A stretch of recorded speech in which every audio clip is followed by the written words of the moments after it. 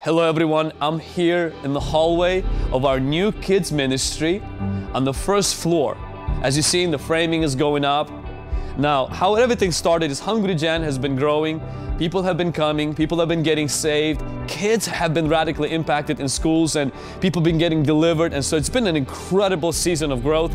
We got this building after submitting the paperwork and getting it all approved.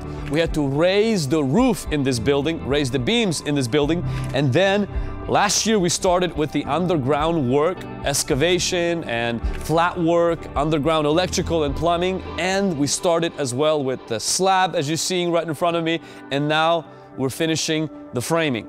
The next phase of our building is going to be electrical and plumbing. I want to invite you to take part of this building's construction. You can contribute financially, you can pray for this as well. The goal for our electrical and plumbing is $670,000. I want to ask you to prayerfully consider to sow into this building project phase of electrical and plumbing. Give one time your best gift or give as a partner until we come into this building.